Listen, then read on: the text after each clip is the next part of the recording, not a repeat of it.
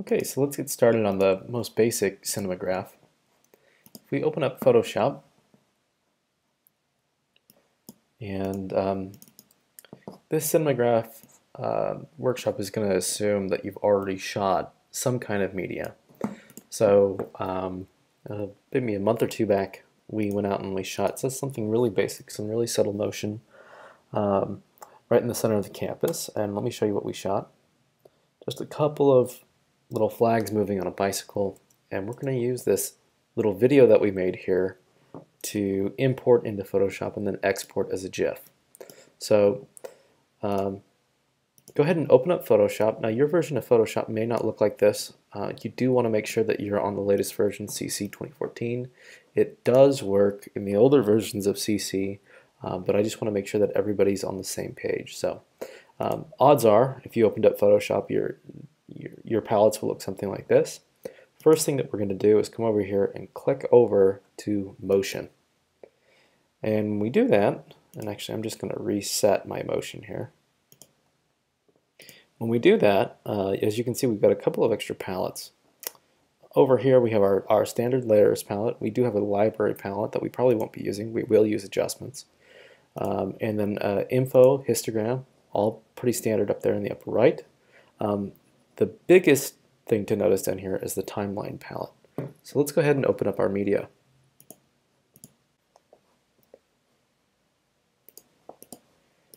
So now I'm just going to open my file. I have this uh, movie file here. And I'll play through it once just so you guys can see it. Really subtle motion here. And we're going to, um, what we're going to do to kind of fix how choppy it is at the end is we're just going to um, cut it in half and um, pull the center, the end point and the beginning point to the center of the clip and then fade through it. So um, let me show you how we're going to do that. Okay, I now have two clips here and I know that the where the issue is is I'm going to start with the end and pull this so the end is now going to be in the middle here. Okay.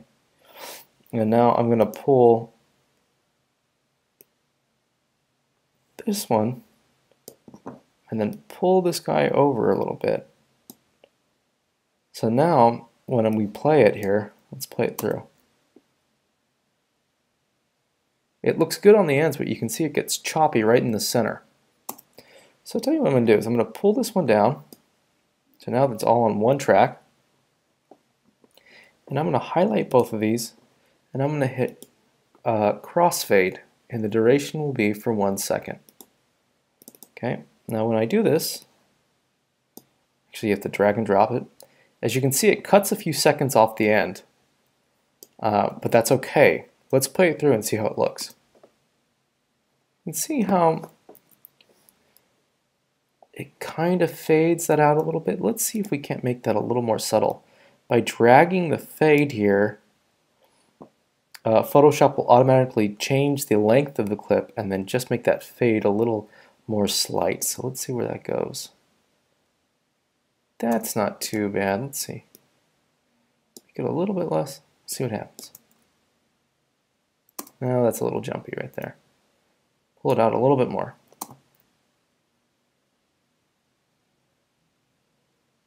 Not bad. It's a little ghosty here, but all the rest of it works pretty well.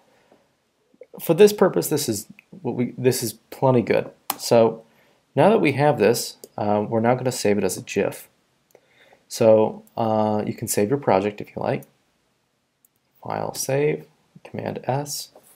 Call this uh, bike GIF, cinemagraph rather save. Now here comes the magic. We're going to come down to save for web. And what we if if it's not already selected here, um, you can go ahead and uh, select uh, GIF 128 dithered. Okay, and then uh, you have your animation options down here. Go ahead and turn that over to forever. Uh, and now you can look at the different qualities that we have here And um, this one ends up being about 1.3 and it looks pretty good.